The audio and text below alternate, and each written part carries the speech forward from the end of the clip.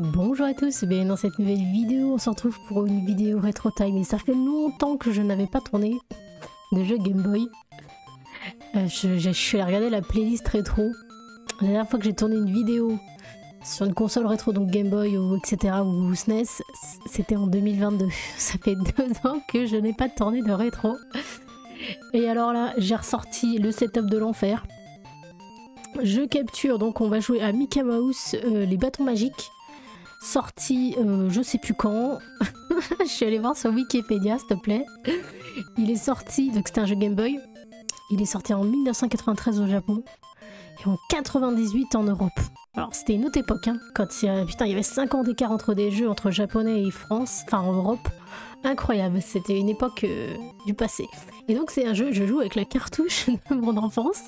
C'est un jeu que j'ai vu sur la Game Boy.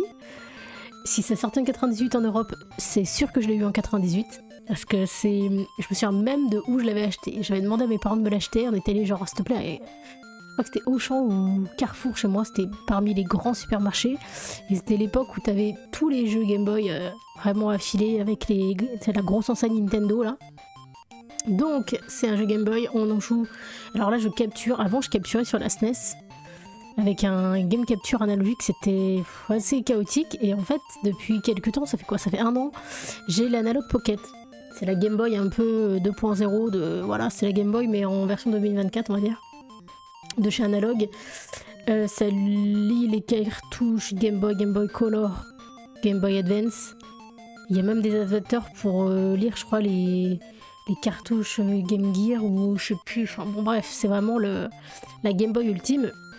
Et ça me permet du coup de capturer parce qu'en fait, j'ai. Avec cette Game Boy, pour les, gens qui s'intéressent l'analogue, elle a un dock et que ça permet de capturer les jeux exactement comme la Switch. Vous la dockez sur le, support et ça vous bascule le jeu sur la télé. Donc, de bavardage. Alors c'est donc Mickey Mouse et les bâtons magiques. Ça s'appelle, je crois, le sous-titre c'est Mickey Mouse 5. Genre, j'avais fait une vidéo sur il y a longtemps. Hein. Je crois que c'était au début que j'avais mon game capture sur Mickey Mouse premier du nom qui était sorti il y a longtemps parce que c'est le premier jeu, quasiment le premier jeu vidéo de ma vie que j'ai eu après Tetris, donc c'est 90 je pense. Et celui-là, donc c'était 98. Donc vous avez 40 niveaux de mémoire. C'est un jeu qui est assez facile. Alors, je l'ai fini à l'époque, j'avais 10 ans que je l'ai fini. Hein. Et vous avez un système de password. À chaque niveau, vous avez un password. Ça, c'est bien. Parce que c'est un jeu qui n'a pas de sauvegarde automatique, mais il vous propose les, passwords. C'est-à-dire qu'à chaque fois que vous allez finir un niveau, il y a un password qui va s'afficher, vous le notez, et puis vous pouvez reprendre euh, la progression où vous étiez. Donc licence by Nintendo, ok. Et pourquoi, j'ai pris Mickey Mouse? Parce qu'en fait j'avais déjà joué au premier, j'avais bien aimé. Et euh, c'était encore une époque où je connaissais presque pas Mario. Donc en fait, c'est là que tu vois que l'importance des licences quand t'es enfant, ça marque. Le marketing sur les enfants, Mickey c'est tellement un... On dit souvent d'ailleurs Mario c'est le Mickey du jeu vidéo, mais quand tu t'es pas encore familiarisé aux jeux vidéo, tu vois Mickey dans un rayon de supermarché, bah tu prends. Donc on est parti. Alors c'est en anglais. Hein. C'était l'époque où les jeux n'étaient pas traduits en, FR. Et euh, le scénario, en gros, je crois qu'il y avait, peut-être une. Je crois que le méchant de l'histoire, par le protagonisme, en fait, c'est la même chose que Mickey Mouse, premier nom que je vous avais présenté là, qui, était sorti en 90. En gros, c'est un sorcier. Et euh, il va capturer les amis de Mickey, donc euh, Donald, Minnie et compagnie. Et euh, il va les enfermer dans, dans des tableaux. C'est marrant en fait maintenant avec le recul. Le délire d'emprisonner dans des tableaux et tout, ça me fait penser à Mario 64, Current of Time. Je sais pas si à l'époque c'était une inspiration de ça, mais. Enfin, non, du coup, non. Non, non, c'est pas possible parce que le jeu il était sorti en 93 au Japon. Donc euh, en fait, je pensais que c'était 98, mais non. C'est 98 en Europe, mais non. Le jeu date de 93, donc non. Donc voilà, un petit scénario euh, bah, digne des jeux euh, comment? Game Boy quoi. Au niveau du record, je vous ai baissé un peu le son parce que alors là, je vois sur la le OBS là, la saturation de, du, son. J'espère que ça sera pas trop fort parce que les jeux Game Boy c'était puissant. Hein. Et au niveau de la frame, je vous ai mis un petit petit overlay avec Mickey parce que capturer la Game Boy, euh, enfin l'analog Pocket sur une télé. Euh, ça vous met aux dimensions de la Game Boy, mais du coup, bah, ça prend pas l'écran total. C'est marrant, il y avait quand même un petit scénario. Euh, euh, comment? Pour un jeu Game Boy, c'était assez rare. Et euh, bah, quand j'étais petite, je comprenais rien parce que je comprenais pas l'anglais, donc forcément ça m'intéressait pas les, les, textes. Mais bon, voilà, c'est le petit scénario. Je crois que. donc en fait, il va se, il va comment? Il va, on va lui donner un pouvoir Mickey. On va lui donner les bâtons magiques. Et en gros, bah, ça va permettre de... De comment de... Ça va être tout le gameplay du jeu. Il y en a 4 au total, puisqu'en fait, tous les 10 mondes, vous avez euh, un boss et vous avez une nouvelle baguette. C'est de la plateforme assez basique. Voilà, c'est euh, lui là, c'est le méchant là. Euh, c'est le même méchant. J'ai l'impression que c'est le même méchant dans tous les Mickey. C'est un espèce de sorcier qui a une grande cape.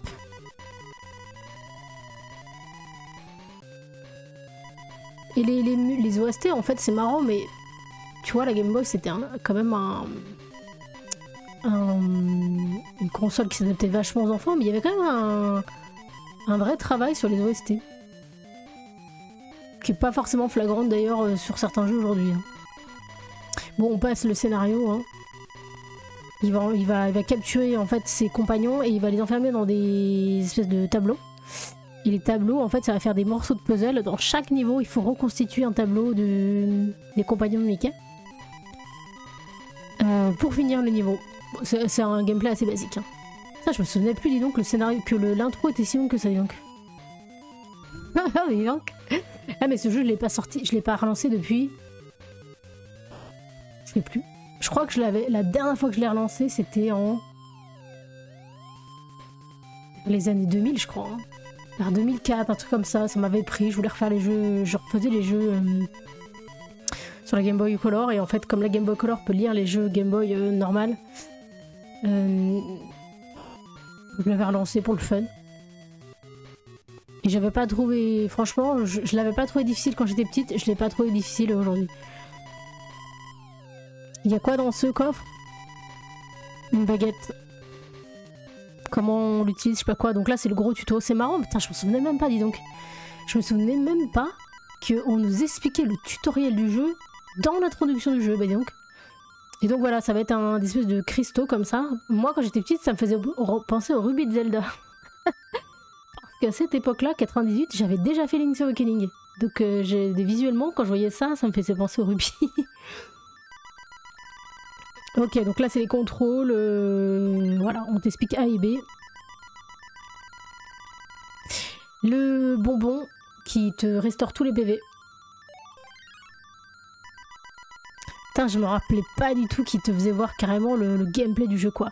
Ça c'est une boîte à musique, ça, euh, ça paralyse les ennemis pendant le temps de la musique. Et ça c'est pour attaquer, c'est une pomme, puis euh, voilà, tu t'attaques les ennemis avec les pommes.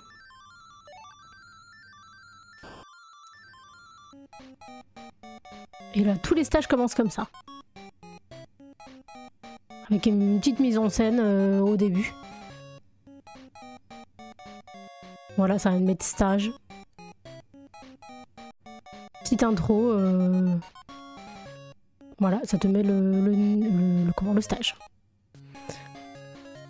Donc c'est un jeu de plateforme. Donc avec A, on utilise la baguette magique. Avec B, on saute. D'ailleurs, c'est la petite particularité de ce jeu. Une pomme pour se défendre.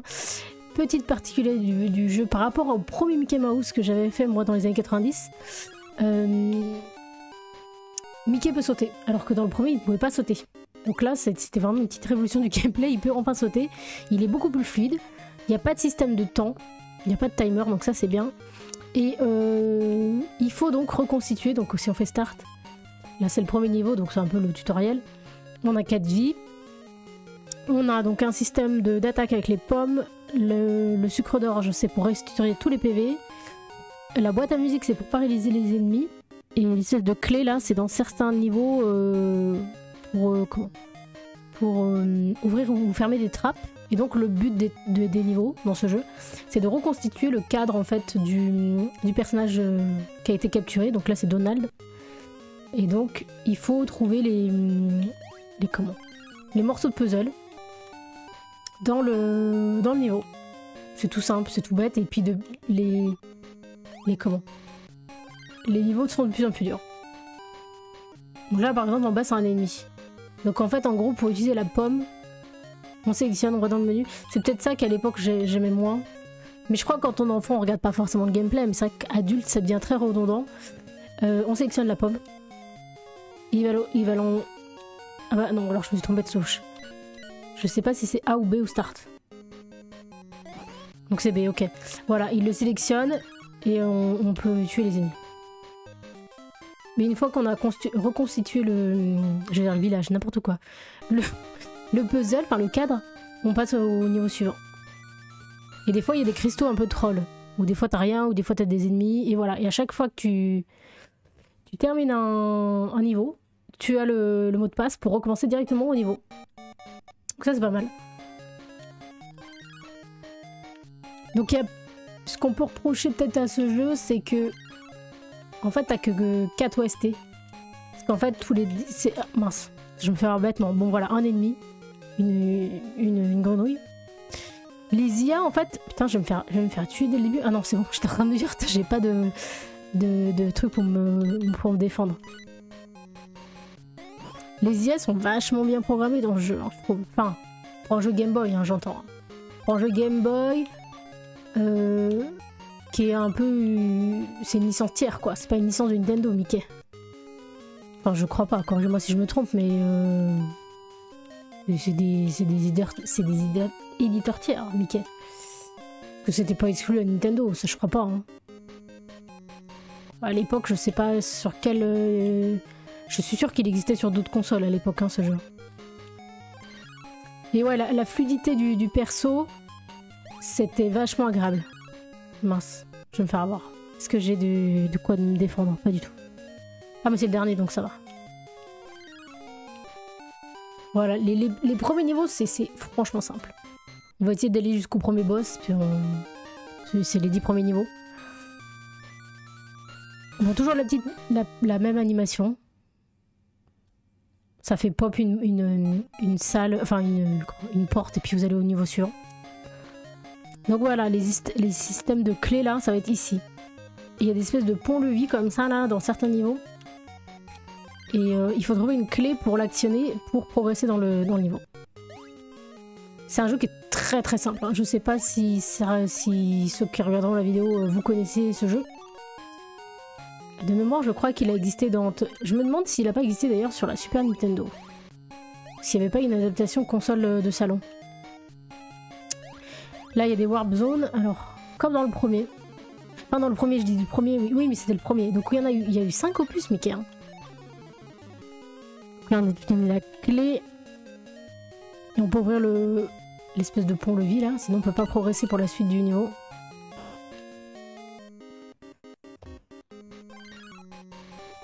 Et du coup, bah, c'est en noir et blanc. Hein, parce que là, je vous ai mis, du coup, sur l'analog pocket, euh, vous pouvez mettre soit en affichage, je sais pas ce que je voulais faire.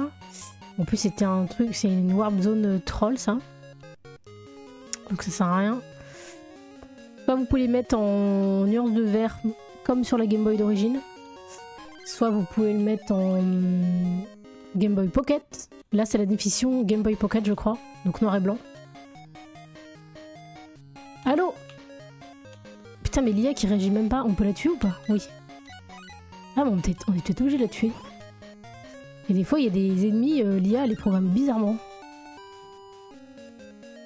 Genre le truc il réagit pas du tout. Et euh, je suis en train de regarder au game capture ce que ça rend.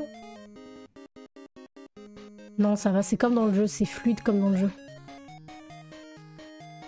Alors par contre, je crois que il manque un truc. Ah oui, non, mais il manque un truc. La Warp Zone, elle est là. Ah, je vais me faire tuer bêtement. Non, c'est bon. Il y a une petite euh, zone d'invincibilité, on est tranquille des fois euh, quelques secondes. Il est beaucoup plus facile que le 1. Le 1 il était ultra punitif, je vous inviterai à regarder la, vidéo que j'avais fait dans la, dans la playlist Retro Time. En fait dans le premier, Mickey il avait pas du tout de quoi se défendre. Enfin il était... Il était tu, il y avait pas de PV pardon. Il, pouvait se défendre avec des, bombes, des flèches, mais il était il avait un point de PV, tu te faisais toucher, c'était finito. Alors que là, ils ont été plus généreux, t'as 5 points de PV. C'est vrai qu'il y a des fois, il y a des jeux que tu fais enfant, c'est ultra punitif et tu t'en rends pas compte. Et c'est les, les, mêmes genres de jeux où si tu les fais adulte, euh, tu te dis non mais attends, c'est punitif à mort quoi. Mince, je me trompe dans les touches, je suis en train de jouer avec une manette Xbox. C'est un enfer sans nom. en tout cas, voilà, j'avais envie de revenir sur des jeux, de mon enfance. La Game Boy, c'est vraiment... Je ne veux même pas tuer. Le cristal, je le prends pas. Je sais que c'est un troll. Ça, c'est un cristal troll. C'est une grenouille. Je me souviens, ça m'a... Il y a des trucs, tu... ça fait peut-être... Ouh, purée. Attends, ça fait combien d'années Attends, on est en quelle année là 2020... Attends, j'allais dire 2028, ça y est, j'ai craqué. 2024, euh, ouais, donc euh, ça fait, ça fait un bail, hein, cette époque. Et eh ben il y a des trucs, je me souviens. Je me souviens que le cristal haut, c'est du troll et qu'on va pas le faire. Mais dans l'ensemble, ouais, c'est pas... Je dirais peut-être que les... Le quatrième monde, enfin le quatrième... Euh, en fait, c'est... On va dire c'est par univers. C'est... de 10 à 20, de 20 à 30, de 30 à 40. Non, de 0 à 10, de 10 à 20, de de 20 à 30, oui, 30 à 40. Regardez l'IA comme elle est bien. Voilà, ça je me souviens de ça. ça. Je me souviens que les grenouilles dans ce jeu, enfin les ennemis de, base, ils sont ultra bien programmés. L'IA, elle était... Enfin, pour un jeu Game Boy. Hein. Euh, je crois que c'est tout. Hein. Je vais. Ouais. Je connais pas tous les personnages de Disney, mais là, l'espèce de vache là qui ressemble à, à Goofy là. Ça doit, faire partie de l'univers de Mickey.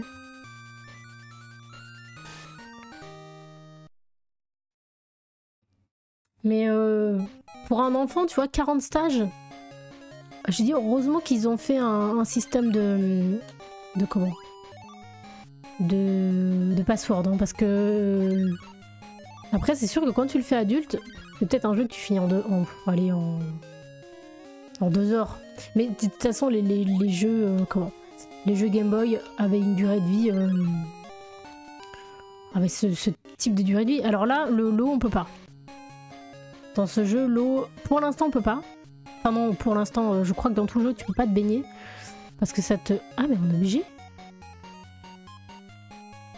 Ah, on est obligé parce que je sais que la, baguette qu'on obtient... Ah non, mais on, peut sauter. La baguette qu'on obtient euh, après le premier boss, euh, c'est une baguette pour, marcher sur l'eau justement. Là, c'est un gameplay punitif, mais t'es obligé de le faire. En fait, il est obligé de se prendre un, hit, Mickey. Parce que sinon, voilà, sur le gameplay, tu peux pas sauter. On avait des espèces de cubes là qui nous ont fait tomber, putain, deux fois. Hein. Je vais quand même pas faire un game over sur le jeu quand même. Je crois que les warp zones là dans l'eau, t'es obligé de les prendre. Alors que plus tard dans la voiture, on va avoir une baguette qui nous permet de, de créer des, des blocs de glace. Euh, putain, la, grenouille. Des blocs de glace pour euh, naviguer sur l'eau. Mais ils sont généreux en power-up parce que, par exemple, là, ils nous ont donné un, ils nous ont offert un, comment on ça Une espèce de boîte à musique parce que, au cas où t'es plus de PV quand tu rencontres la grenouille, là, bah tu l'immobilises et tu peux... T'as une, une zone d'invincibilité, quoi. Les, mots de passe, c'est what the fuck. Hein. On dirait que le mec il s'est endormi sur le clavier. Le, mec qui a développé le, les, Comment Qui a dit tiens, on va faire un, système de password, ils ont mis n'importe quoi. Ils ont mis n'importe quelle lettre. C'est même pas des, des mots en anglais, c'est n'importe quelle lettre. Et euh, voilà, c'est un petit jeu de plateforme tranquille, mignon, sans prise de tête, assez fluide. Je me rends compte d'ailleurs maintenant, quand je vois ça avec euh, le recul, le level design, il y a quand même des similitudes avec le premier. C'est toujours des, comment, des décors de château. Mickey est toujours dans un château. Il y a juste le bestiaire qui est différent. Ils ont pas repris le bestiaire du 1. Les îles sont programmées un peu plus... Tu vois, un peu plus agressifs. Enfin, pas agressifs, mais elles sont beaucoup mieux programmées. Alors que dans le 1, par exemple, des, ennemis euh, où tu avais des échelles comme ça, ils faisaient vraiment des déplacements assez saccadés, un peu... un peu bizarre. Enfin, il réagissait pas forcément en fonction du perso. Là, c'est vraiment programmé avec le, le perso. Putain, je suis en train de me demander un truc, dis donc. Est-ce que les power-up, on les conserve sur les stages d'après? Là, j'avais trois pommes. Je suis en train de me demander si on les conserve pas. J'ai l'impression que ça, ça, met, ça reset pas le, les power-up. Attends. Ah si. Donc dans ce jeu, ils étaient généreux alors. Ils avaient C'est-à-dire qu'ils avaient donné... Mince. Ils avaient donné trois pommes. Ah là, à mon avis, il n'y a pas de... Il n'y a pas d'ennemis, il n'y a que des boulets. Bon bah du coup, c'est voilà, c'était un petit retour. Mais on va, on va essayer d'aller jusqu'au... Ah oui, je me disais, dis donc, est-ce qu'il peut, monter? On va essayer jusqu'au premier boss. Même si vraiment, dans mon souvenir, euh, je ne comment. J'avais eu aucune difficulté dans ce jeu à l'époque. Et pourtant, quand t'es enfant, t'as pas les mêmes réflexes que... Enfin, 98, j'avais quoi? J'avais 12 ans. T'as pas les mêmes réflexes que... quand t'es adulte, mais... Je trouve que le gameplay, il est fluide, là. Il y avait des jeux Game Boy beaucoup moins... Euh... Euh... Oh, j'ai fait un shortcut je pense qu'il y avait des, trucs trolls et que je les ai pas pris. Oh, j'ai fait du speedrun, dis donc, sans, le, sans le vouloir.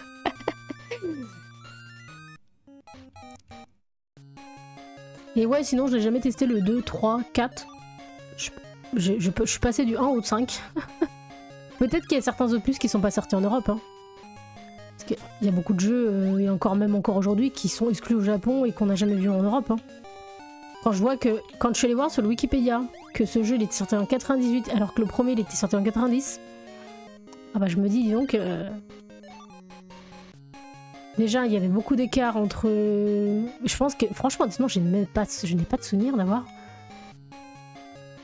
vu le 2 le 2 3 4 en Europe.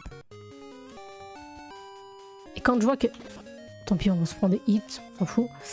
Euh, je vois qu'il y a 50 différences entre la sortie japonaise et la sortie en Europe.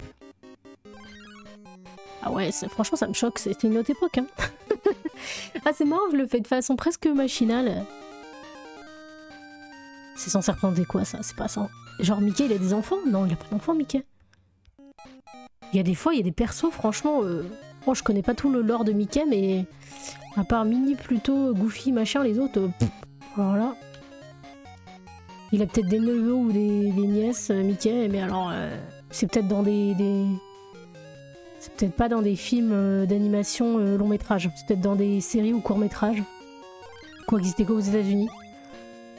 Alors là, il nous faudra une clé pour ouvrir la trappe. Est-ce qu'on l'a déjà récupéré Non.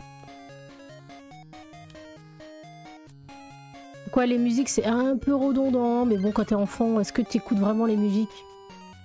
Je sais pas aussi, c'est surtout le plaisir de jouer, je pense. À la clé.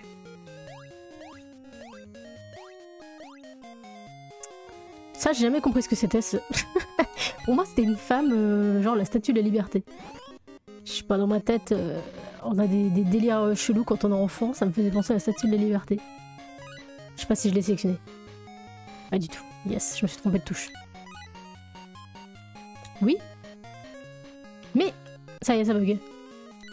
Attends, c'était bien B pour sélectionner ou c'était A? Alors déjà c'est pas A. Oui B Ça y est, ça bug. Ah, ou alors c'est Start. Pas du tout. Let's go. Mais si c'est A normalement. Ah mais c'est parce que je suis dessus Non Attends. Ah non, non, mais c'est ok. Non, j'avais bien fait les bonnes touches, sauf que j'étais trop dessus, du coup, le... au niveau du, codage du jeu, euh, ça pouvait pas marcher. Waouh, c'est punitif ça. Non Je vais me faire tuer. Faut que je fasse. Je suis sûr qu'il faut que je refasse tout le tour. Il y a une warp zone quelque part, non Sinon, c'est impossible. Alors, lui, toi, tu vas dégager tout. Ah, j'ai plus de merde, j'ai plus de pommes. Ça va. Le gameplay, il est... Pour un Mickey, je trouve que les sauts, c'est... On se croirait presque dans un Mario, dis donc. Et la fluidité... Bon, pas grave. La fluidité du perso, c'est incroyable. C'est ça qui m'avait plu à l'époque, c'était euh, agréable de jouer. Ah bah ça va. Donc ça veut dire que de l'autre côté du canon, c'était un bonus. C'est une, une pomme. Et donc là, on est stage numéro 10. Normalement, de, mémoire, on, a un tableau de, mini. Et les, espèces de, morceaux de puzzle, enfin les morceaux de tableau, ils brillent et ils font un son différent. Ça veut dire qu'en gros, c'est à chaque fois qu'on a le niveau qui précède le boss, on a une mélodie différente pour les puzzles. On va voir si mon souvenir est bon. Voilà, ça fait pas le même bruit. Ça fait pas le même bruit et ils ont fait un effet un petit peu euh, brillant.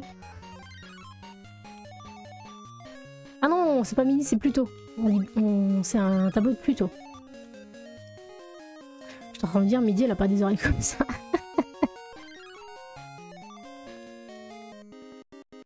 et euh... Ah Vous voyez un cristal troll. J'ai libéré un ennemi euh, sans le vouloir. Une sucette, ouais, c'est vrai que c'est rare de faire des game over dans le jeu. Ils te mettent tellement de power-up pour, euh, pour restaurer tes PV que, c'est assez rare de se planter. Une warp zone. Mais ouais, c'est, je crois que la Game Boy, ça a été euh, la console euh, où j'ai passé le plus de temps quand j'étais enfant. Puis il y avait le côté, tu vois, le, la Game Boy c'est portable. Du coup, bah, tu pouvais. Moi, je restais des heures et des heures dans ma chambre à jouer toute seule euh, avec ma Game Boy. Oh Dis donc, il y a beaucoup de cristal troll dans ce jeu. Dans ce niveau. Il m'en manque combien là? Deux. Alors, attends. Voilà, faut qu'on économise un peu les, pommes là. Oh, il y a une, zone. Alors, attends. Je sais pas où ça mène. Par contre, comment on passe là? Comment on passe de ce côté? Ah, comme ça? Bon, l'avantage des... Bon, ça va, une, sucette. L'avantage des espèces d'ennemis un peu... Euh, les meufs là qui ressemblent à la statue de la liberté, là, on va dire ça. Sont un peu... Sont moins, moins vivaces que les, les crapauds. Des fois, tu peux leur passer à travers sans subir de dégâts. Alors, comment on l'a ce cristal C'est le dernier, je crois. Comment? Attends. Là, on peut pas. Ah si.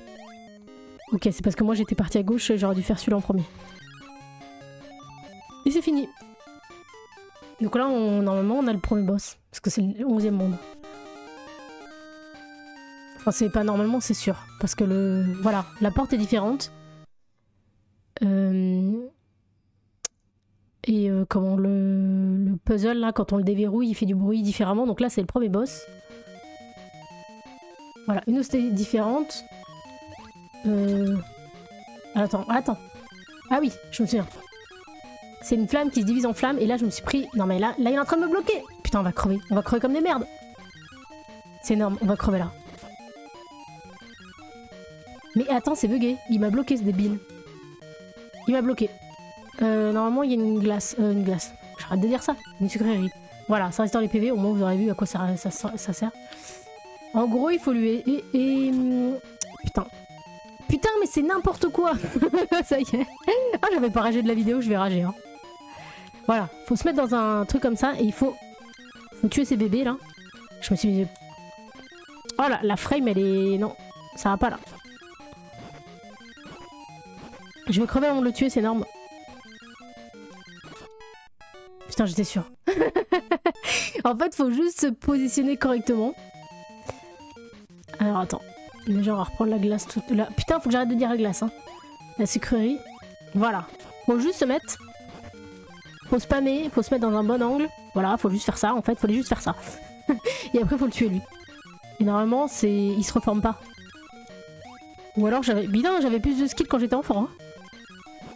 Voilà, puis c'est fini. Le premier. Et tu vois, regarde, j'ai quand même perdu. j'ai quand même perdu. J'ai fait un game over plus 4 PV. Et le skill est resté en 98. Et du coup, voilà, on obtient une nouvelle euh, baguette magique. Et celle-là, normalement, je crois qu'elle gèle les... Voilà, c'est ça. elle gèle les cascades et elle met de, la glace sur l'eau. Voilà, les chutes et les casques et l'eau sont, sont gelées.